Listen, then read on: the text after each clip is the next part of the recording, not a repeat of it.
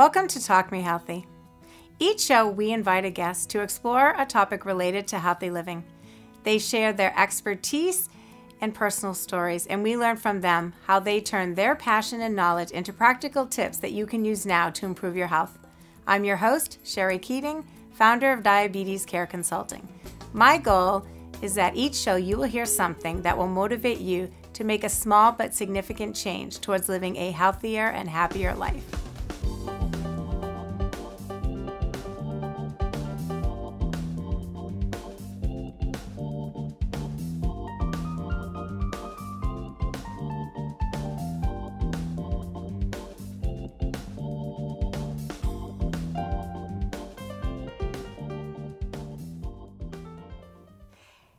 Welcome to Talk Me Healthy. My name is Scherrie Keating and I'm your host. Today's show we're going to be talking about 20, the nonprofit organization 22zero and my two guests today are Dan Jarvis. He's the founder of 22zero, also a military, retired military vet, and also retired from law enforcement. Yes, ma'am. And then also we have Nick Davis, who is also a military vet, and um, board of on the board of directors of 22zero, as well as a certified practitioner for RTM.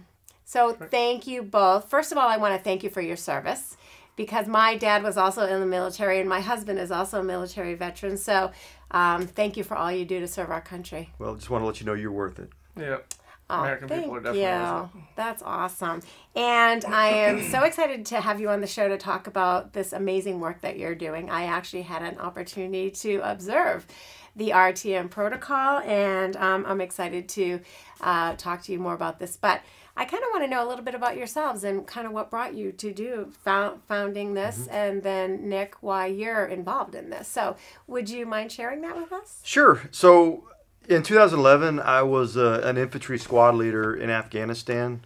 Um, and during that deployment, half my kids were medevaced out of country um, from combat injuries. One of the kids uh, that I was with was killed in action, and I felt responsible for it. Um, and in July of 2011, I stepped on a pressure plate, which detonated an IED about five feet away, and I received a pretty significant traumatic brain injury. Um, and I was off the battle roster for maybe a week, and I was fighting, clawing, just trying to get back on the battle roster. But I was sleep deprived after that event. And my job when we lost Doug was I was in a Stryker unit, so I was in the lead vehicle, and my job was to find the IEDs before we hit it, so that we would bring up the explosives guys. And on August 19th, 2011, I heard the explosion in the back of the convoy, so we had rolled over it, and they detonated on one of our vehicles and that's when we lost Doug, and and that's when I I, I really I, was, I think I was more angry at myself because um, I didn't speak up and say, hey, I'm exhausted, I'm not sleeping. I mean, I was practically a zombie and, and doing combat operations. I should have let somebody else take the front. So I blame myself for losing Doug. Um, and then at the end of the deployment, uh, I got a Red Cross notice, and my mom had uh, had a massive heart attack and there was a four day window it took me to get home and i had no communication and, and i didn't make it home in time to say goodbye so i, I lived with that and I, after the funeral i find myself back in alaska uh, stationed at fort wainwright and i was still sleep deprived first thing i did when i got back there is i got a case of beer and basically drank till i passed out. And then i realized oh i can sleep but it's going to cost me you know six pack 12 pack of beer a night. So this went on for probably a good 11 months and the nightmares were so bad and, and the, the thoughts always bombarding you the the guilt associated with losing somebody and he was an only child and, and watching his mom post things on facebook it was just like you know my guts were being ripped out repeatedly and the depression was just horrible and i hid it very well nobody had a clue that i was struggling and, and as a leader in the military there's really no you know who, what do you do do you say i need help you know because then you don't want to lose the respect of your men you don't want to lose the respect of your commanders. Mm-hmm. And I made the decision that it would be easier to end my own life. Mm-hmm. So it was March 2nd. Um, I was looking at a rifle in the corner of my room, and I was like, you know, just take one second and the pain would be over. I didn't want to die, I just didn't want the pain to continue. Mm-hmm. And I thank God I heard the kids in the apartment above me, and it just kind of took me out of the moment. I'm like, well, I can't, that's, I'm, I do not want to hurt a kid. You know, high power rifle's going to go right through. And then the next morning, I get a phone call. Um, Ryan was one of my he was my driver one of my riflemen, asked if I'd heard about Corey, and I'm like, no, what's what's going on? And he said Corey shot and killed himself last night. And Corey was a 22 year old soldier. Um, he had a kid, a wife, and you know nobody had a clue that he was just, he was like the happiest soldier. I mean, he was in the football world we would call him a coach's player, the kind of guy that did everything he was asked to do. Um, and then I just realized at that moment, I said, well, nobody had a nobody had a clue that I was struggling. Mm-hmm. Um, and that week, we we led up to the memorial service. You know, realizing how it affected the men, um, and I saw how emotionally it impacted them, and I realized at that point that this can't be my option. There's no way I'm going to give permission to one of my guys to do the same thing. So I just fought it, and I struggled, and I still drank, and then September 11th, 2014, I'd had surgery on both of my shoulders by this time and my left knee, and, and I was in my 40s, and we are in the middle of the drawdown, and, and the Army says, We no longer need your services. We need somebody younger and healthier. So I was medically retired. I took the uniform off, and I'm like, Well, now what? You know, mm. my whole identity has just been ripped away. Mm-hmm. So I'm back in Florida, and, and I'm still doing the drinking and things of that nature. Um, and then I realized I've got to do something. I, I can't continue this way. And so I'm, I'm working on my physical health, my uh, emotional health, my spiritual health. Um, you know, and then I ended up um, going back to work in law enforcement, and I felt good for a while uh, because you know the thing in the in the law enforcement world or any first responder profession, you work in the fight or flight. That's your mm-hmm. career, so you're always up mm-hmm. here. And and while you're up there, when you have PTS, um, you feel normal because that's the way the brain's supposed to react. And then I had some other health issues with my back um, from the combat injuries, and, and my wife and I discussed it, and we're like, well, maybe it's time. You know, the wife is an interesting. We I didn't get married until after the military, mm. um, and I left the sheriff's office, and that's when everything came back because now I'm no longer operating up here. Mm-hmm. I'm down here, mm-hmm. and my brain neurology is wired for up here, and then the nightmares came back, and I would sweat so bad the sheets would be soaking wet because I'm I'm pretty much doing cardio in my sleep. Mm. Um, and then my wife is like, "You've got to do something. You've got to get help because I don't know I don't know what to do." Mm-hmm. So I, I go to the VA, and you know, as most veterans do when they come out, they gave me a clinical diagnosis of post traumatic stress disorder with major depressive disorder. Uh, and the only two things that I heard in that conversation was disorder, disorder, mm. and I didn't want to hear those words. Um, and I'm like, well, now what? So then they put me through um, some therapy. They call it prolonged exposure. And that's where you talk and tell the whole event. And they just open the emotional wounds. Mm-hmm. And and they had canceled a couple of appointments on me. Supposed to be weekly. And the first cancellation, I couldn't get in for four weeks. And then I couldn't get in for eight weeks. And then I just said, I'm done with the VA. Mm. Um, they're just, it's not the, I mean, I'm not picking on the VA. The mm-hmm. VA is overwhelmed. They don't have the, um, the, t- the techniques you know that we're learning now. Uh, so my wife ended up inviting some a gentleman to come to do some leadership training at the sheriff's office because she's a, an executive there, and he invited me to come to a uh, men's retreat weekend, and I did, and that's where I met Nick.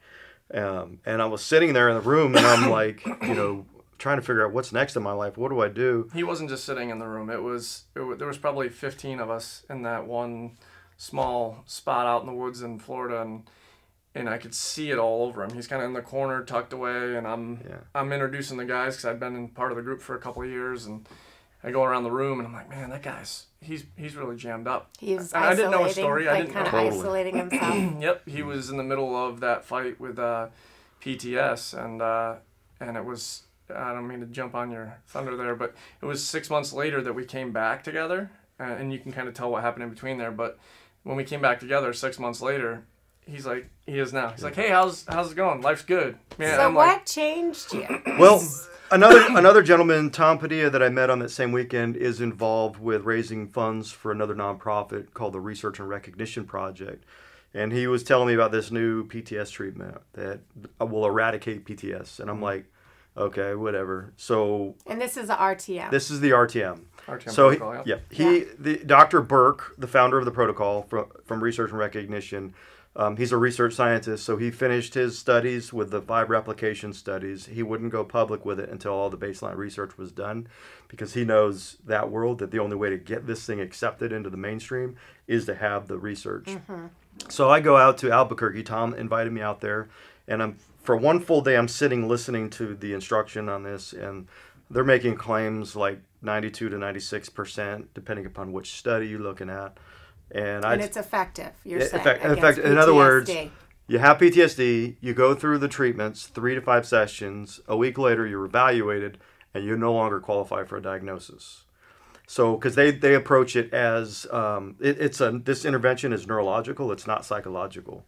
So, I told the lead trainer, I says, well, you know, I, I had already started 22 because my whole mission is I want to be able to connect veterans that are falling away from the VA system to alternative resources, you know, so that's what we Ah, were so looking that's for. That's why you founded 22. That's why we founded 22. When I realized I dropped off the radar and the fact that they never called to ask where I was, Okay. how many people are in that boat? Right, so they're they're no longer going to the VA, but they don't have any resources. So that's where twenty two zero came. Yes. And why twenty two zero? What does that name mean? In the United States, the accepted number, or on average, we're losing 22 veterans every day. It's, it's a little over 8,000 a year. And this is vets, not to mention first responders. Yeah, that's not even first responders. So you initially started for vets though, but now it's expanded to well, because I was a first responder, I wanted it to be for both. okay. because it's vets and first responders. the biggest problem with PTS is the stigma associated with it. Mm, yeah. And what we're really trying to do is is crush the stigma Yeah. because if you can affect let me go back to Albuquerque. So I, I, I tell this guy I want to try this thing and he says, We want to do it today? I'm like, sure, let's do it. And then he goes, How about in ten minutes in front of the class? And I'm like, Okay, no problem. So I'm sitting in a chair in front of 30 mental health counselors in Albuquerque, New Mexico, and in 45 minutes, we run this protocol. I- I started telling the event, and then he stopped me, and I'm eh, as well. I want to talk. Not we don't want to talk. All we want to do is get. All they want to do is get a little bit of a reaction, what they call a parasympathetic reaction, to mm-hmm. activate the emotions, and then they they ground you, and then they set up this protocol, and in 45 minutes, I look over at the trainer, and I'm like, "What kind of Jedi stuff is this?" Because I felt the emotional shift like that really? it was that fast and went back to my hotel room that night and i crashed i slept and what they believe happens is the the amygdala mm-hmm. that's the base part of the brain Yeah. that's the fight or flight part mm-hmm. that's where the memories for pts stores Okay. So it's kind of like when you're a kid and you burn your hand with a candle you know never to put your hand in fire because that memory is automatically accessible right there same thing with trauma. That's why you have the nightmares. That's why you have the flashbacks. That's why you have the intruding thoughts. That's why you have the triggers. Um, and what this does is it neurologically shuts off that connection and it reconsolidates the memory. It's that first sleep cycle where the memory gets processed and moves to the long term. Now, they've done the QEEG studies, the brain scans, where you have PTS and it lights up all the brain waves. You know, seven to 10 days later, normal brainwave activity. That's amazing. So they'll eventually develop a biomarker for PTS. yeah. Um, that's probably more research, but they do know that it works. They don't know how it works. Uh, Dr. Bourke says that's about 20 more years of research. So after experiencing this, I came back and I went to a counselor who had just finished the training, and and that came up from Florida, and I did the rest of my work. Um, people need to understand the, the the trauma that I was exposed to was definitely military, was definitely law enforcement, but the worst stuff that that I was impacted by was things that happened when I was 11 that I had absolutely zero control over. Um, so I I cleared the emotional event with my mother, and then Doug, and then an event when I was a child. And it's like five sessions I did. That was all I, I did, and it was like Get your life back. I'm like I really wanted to do work on more stuff, but I didn't feel it anymore. So, So- if you clear, well, we'll talk about what that means, but if you clear one trauma, does that clear others while you're clearing that one trauma? It can. Your brain can start functioning unconsciously how to do the, setting of this stuff up. Um, but the objective is if you can find the first traumatic event in your life and the worst Like traumatic way back. way back, the first traumatic event and the worst traumatic event, because what happens is when that seven year old is traumatized or that 11 year old is traumatized and they have a severe emotional reaction and then they get traumatized again when, say, they're 20, they neurologically connect. So what happens is all of the traumas will connect to the same thing. So if you can sever the connection on the first one and the worst one, the rest just kind of dissipate. So, can we talk about the protocol? Sure. Because uh, people, you know, you're talking about being cleared and what all that means. So, uh, tell me about this protocol. Uh, one thing I wanted to hit too that Dan just said is that if anybody anybody that watches this or, or is hearing it on a podcast that um, this is not just for military veterans and first responders. That's the the realm that Dan and I work heavily in because we're both veterans and we're passionate. There's a lot of PTS in that area. Since I became a certified practitioner in our local Massachusetts area, um, I probably cleared 10 to 15 people that were non-military um, things from you know people that were victims of rape to severe abuse.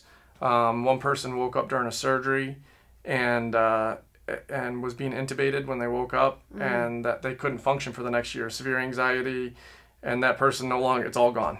Like no anxiety good to go. So it's for the civilians or the people out there we've been asked this a lot like hey you know pts traumatic post-traumatic stress is post-traumatic stress. Right. it's not post-traumatic military first Right. responder stress. We all have it. Many of us have lived through it. So um, the protocol itself uh, you definitely jump in on me on this one dan but for me the first time i got to see it happen in person because he was telling me he's all excited. He's like 22-0 we're gonna we're gonna take it from 22 a day to zero and all the veterans in the room are like yeah good luck with that because we've heard of the other therapies we knew Right. there, there wasn't really a cure or fix out there it's something that's solid um, uh, the one i had heard of was emdr which which does help reduce symptoms but it doesn't get rid of it um, and so I watched it happen in person. I got trained, and the the first person that I worked with um, was actually uh, a woman that works with me, and she's she's an amazing person, and had had a traumatic event that she had not shared with another person in 40 years.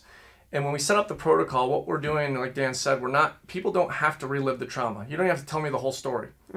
But honestly, you don't even have to tell us any of the story.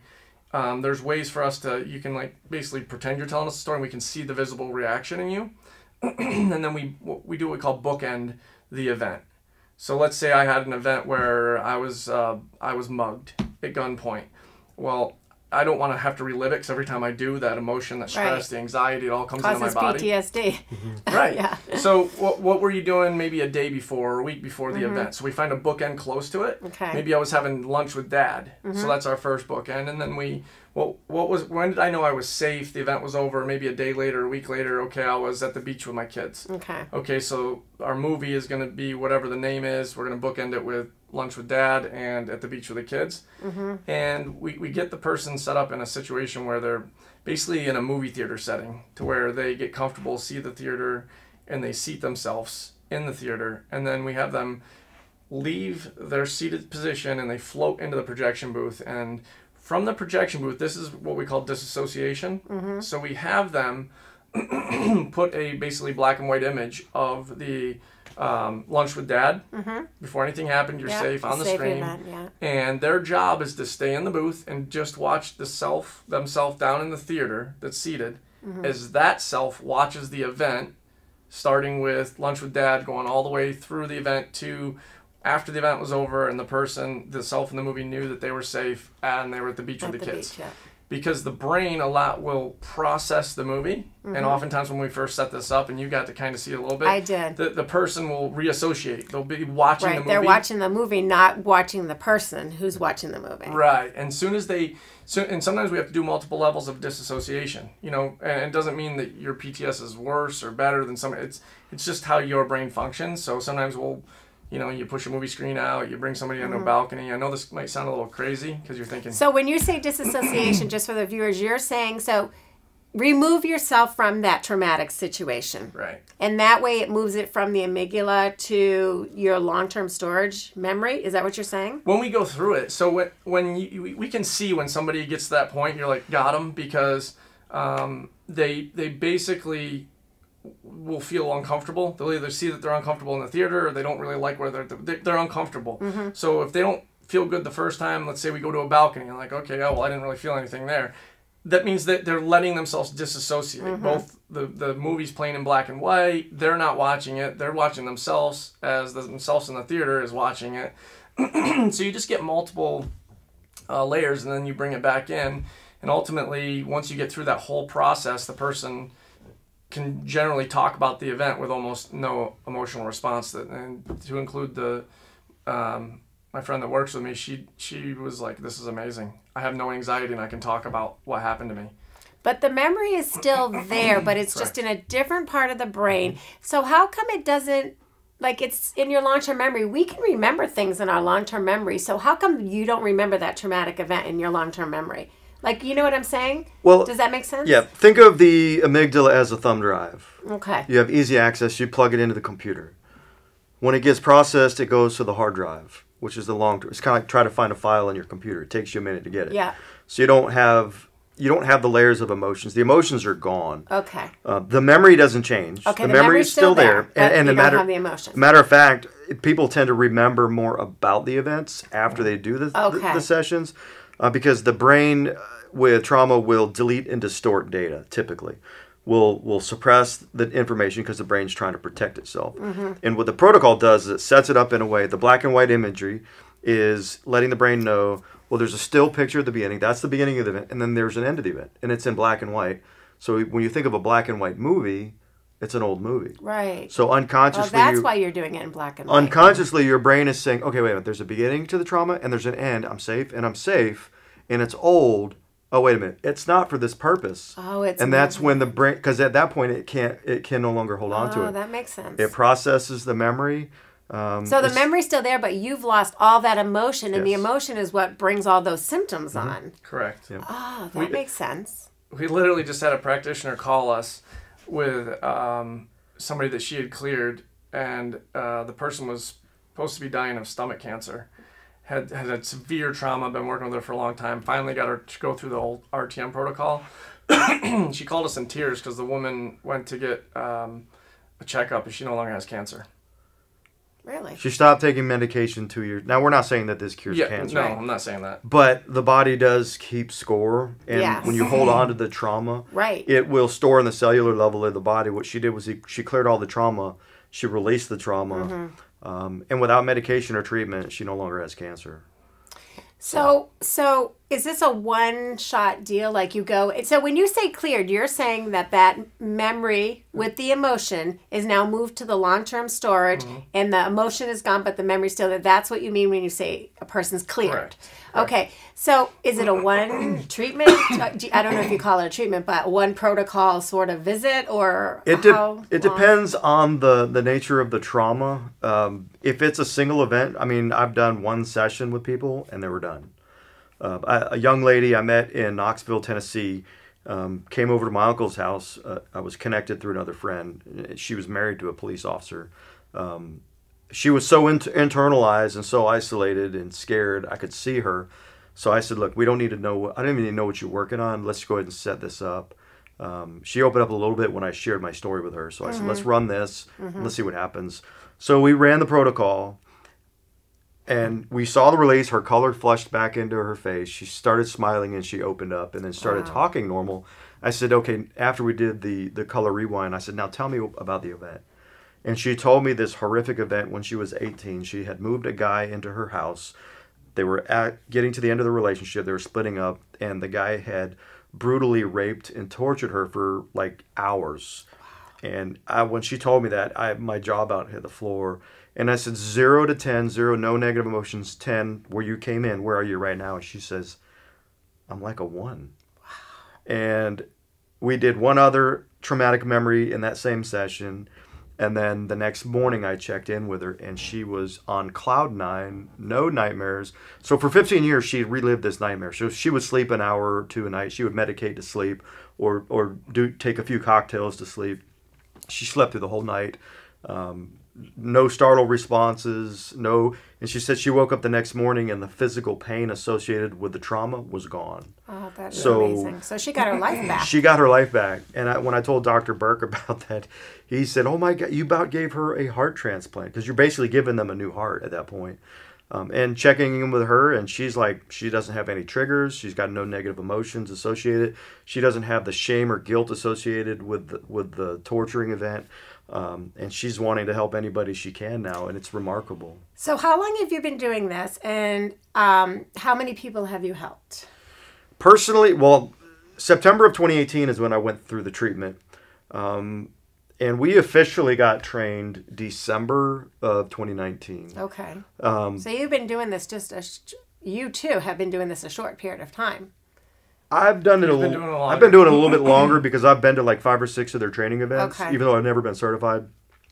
But Dr. Bourke re- asked me to go ahead and certify because Just the to- protection. Yeah. So I've worked. I'm probably at about 20 people myself. And you, About Nick? 15 to 20. So is this accepted in the medical community? It is. It's been published in the ISTSS 2019 journal. Uh, it's the International Studies of Traumatic. I don't know what the actual acronym is. It's considered emerging evidence. Okay. Because you have to wait like five years to be considered evidence based. Yeah. Um, but Walter Reed has just finished their study comparing it to the exposure therapy that the VA and the DoD uses. Um, and they're already reporting it, what their findings are, and they're using the protocol with the counselors that are trained at Walter Reed. So once that study publishes, it, that's a major study. The VA funded it. It was like a seven hundred thousand dollars study. At that, the naysayers at that point aren't going to have a dog in the fight because you have the the most premier PTSD research center on the planet mm-hmm. is now endorsing this. And are people like knocking your doors down to get this? You you would be surprised.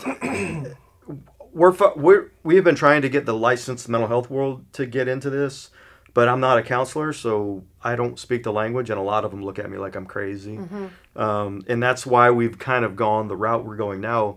There are states that have licensing exemptions for counseling, um, nonprofits, government agencies, and um, churches um, have exemptions. Yeah. Massachusetts is one of those states. Florida is one of those states. And so we're able to train veterans pe- to do peer to peer. In I'll give you an example. In uh, December, we finished. There were um, seven peer coaches trained, and then we had two licensed counselors that were one was a veteran and one was an ex cop that we sponsored, and then we sponsored another one that happened later in January. And between ten of us since December seventh, we have worked with about 120 people that have lost their diagnosis for PTSD. So That for the incredible. for the dollar amount for us right now, I think we're at sixty-seven dollars a person. I was going to ask you, how do you get your funding? And it's free to the person? Yeah, that's because this isn't my career. I mean, you, you know, right. my You have a full time career. Right. Right. So, I- how do you fund uh, Um, your nonprofit? Just sharing the stories, generosity. we were selling T-shirts. You know, uh, we do a lot of stuff through Facebook. Um, We do have an event coming up this August. Yes. Before I forget, uh, Bronson Arroyo, the pitcher for the Red Sox. Yeah. He has Bronson Arroyo band, and he's going to be his band's coming up August 10th. It's a Monday. It's going to be uh, um, not necessarily a private event, but it's going to be limited. So we're going to be selling tickets to that event. Okay. Um, and we're going to do some pretty cool VIP stuff. Him and the band are going to hang out at our place afterwards and do a little jam session and just uh, kick back with us. But we're going to be raising a lot of funds there. And that weekend, we may be doing something else to combine with it.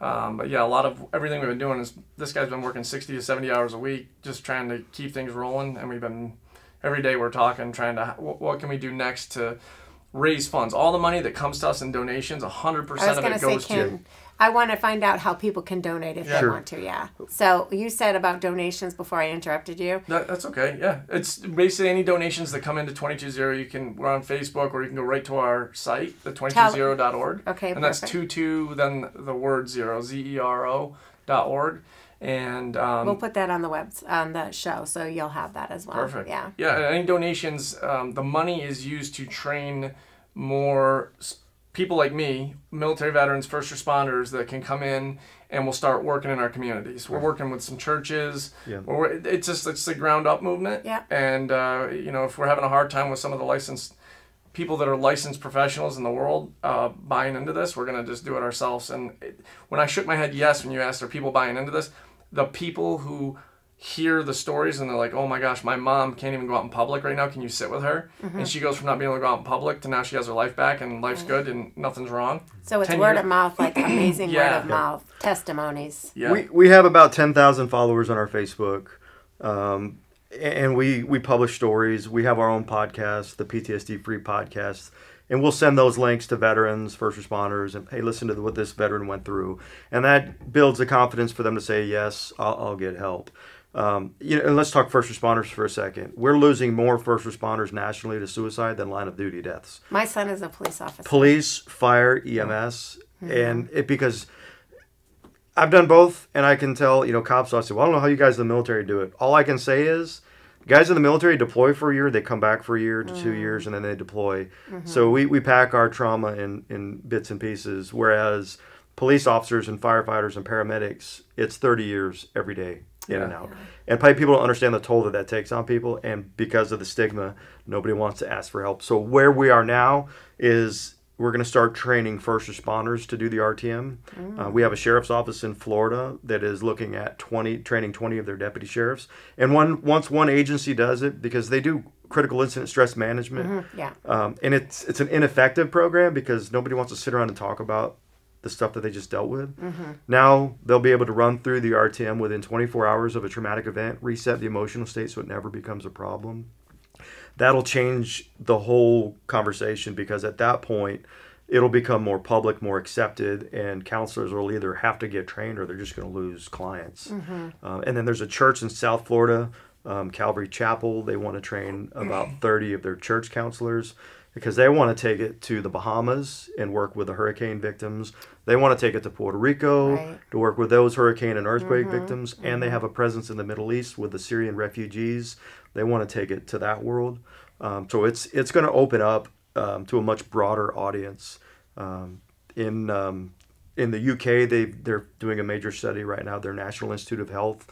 Um, they, they typically will do. They did four uh, counseling centers got trained, and they were testing the results. And then 12 months later, they were going to do the next phase. But they had such success so quickly, they went ahead and within three months jumped to the next phase to train 12 clinics, and then it'll go to the next phase. So they're getting ready to, to ramp it up in the UK as well. So it's it's going to be a global movement because when you you know our motto is healing the hero, uh, and anybody who has fought through trauma is a hero. I love that. It's so true. Yeah. It is true because you, you know, all of us know somebody who's dealt with trauma Yep. in one way or another. And so what you're doing is absolutely amazing. Congratulations. and I can much. see the passion in in a little tears it looks like. I, it, it gets me emotional because I know where we are, Mm-hmm. and we're so close to making this thing wide open.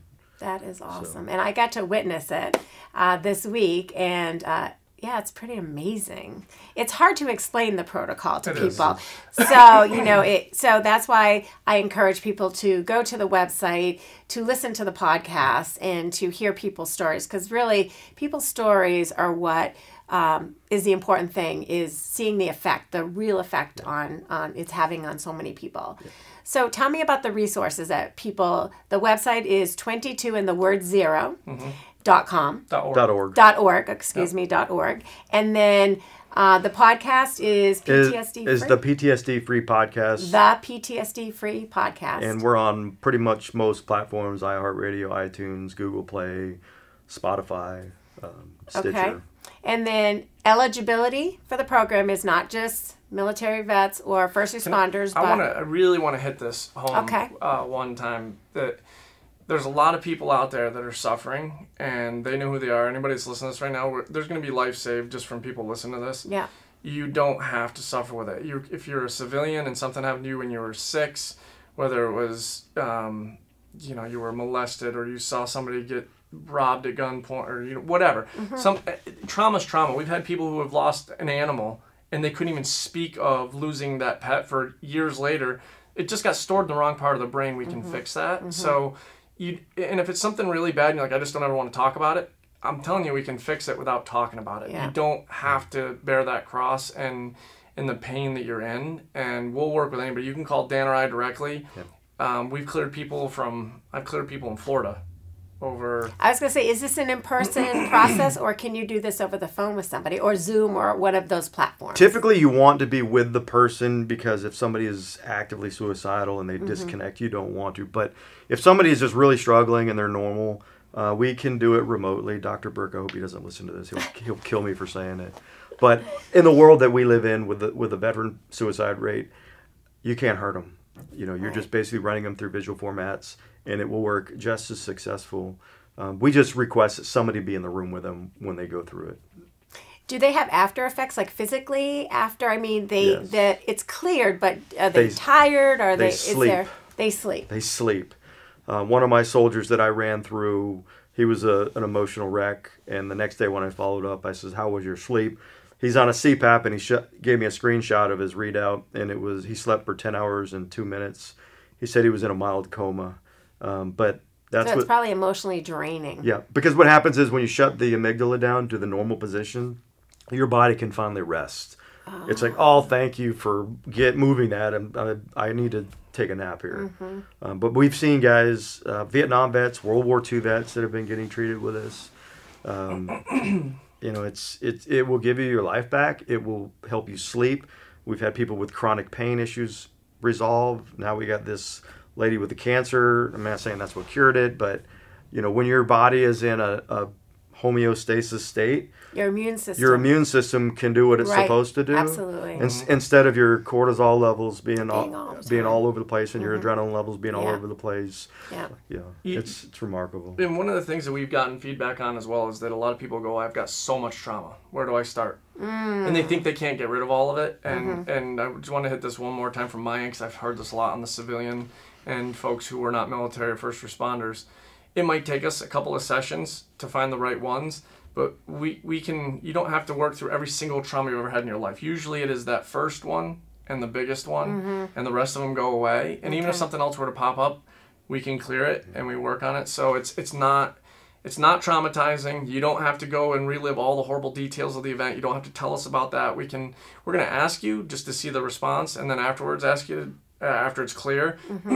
but you don't have to. So don't don't hold back on reaching out or, or con- Yeah. connecting with us because you think you're going to have to share this horrible information. Um, we, we can fix you. And you, uh, Dan, are in Florida. I'm in Florida. And Nick, you're in Mass. Yep. And so, how can they reach you? Because our show is coming to an end, but I want to make sure that people who are watching this and it's like, you know what, thank God this is available to me and it's free. yep. And so, um, how can they reach you? Uh, Phone number, website. What's it? Do you have a like a contact page on your website, or does someone be a- call you directly? There'll be a contact page, but I always give out my cell phone number. so you're comfortable doing that on the show? 863-221-6304. All right. So eight six. Say, say that again. 863 Yep. 221 Two two one 6304. six three zero four, and that's for Dan. Okay. And And I- then My Nick? cell's 978 Yep. 727 Yep. 3888. 38, 88, And and, you that's can- for Nick. You can also reach me through uh, email at nd uh, November Delta uh, True North Okay. at Gmail. All right. And do you have an email as well that you want to give It's out? Dan yeah. at E 22zero.org. All right. So what I'm going to do is I'm going to put that on the show so that people have that available to them. And I can't thank you enough. Like the work that you're doing, and I'm so sorry that you had to go through that, but you've turned a negative into such a positive, and you're making an impact on so many, and that's wonderful. If I hadn't gone through it, I wouldn't be here doing what I'm doing now. I get that. Yes, I, I- have my own story that led me to what I'm doing today, so I totally get that. And I think that that's where, you know, that's when something works because you've been there, you've lived it, and now you know you've taken that, what mm-hmm. you've gone through, and turned it into your passion to help others. And I totally get that. And I think that's amazing. So, congratulations. And Nick, you're doing wonderful work too. And, you know, I got to watch you and, and, and helping somebody. And, um, I can't wait till we reconnect. I I appreciate know. you. Um, Yes. You're always trying to help others. That's what I loved about you the first time we ever met. That's a whole story for another yeah, day, that's a whole story for another thank- show. Thanks for having us on the show Thank and, and bringing us down. We just getting the word out uh, is huge for us. Uh, because it works and you can't unsee it. Once you see somebody get their life back, man, it's like it's, PT, it's amazing. PTS is an injury, and we can now heal from it. Yeah. That is so awesome. And you know what? It just happened to be that you came up. Yeah. I mean, you weren't even supposed to be on the show. I had and no it idea just I was gonna happened to coincide with your trip up here to Yep. see Nick. So I'm so grateful. This is amazing. So thank you I'm both for coming on and thank you for, for making an impact in the lives of so many. Thank you. Thank And you. thank you, viewers, for tuning in again to Talk Me Healthy. This is Scherrie Keating. And remember to live your best life every day starting today. Thank you for tuning in, and I hope that you'll come back again next month. And until then, have a wonderful day. Thank you so much.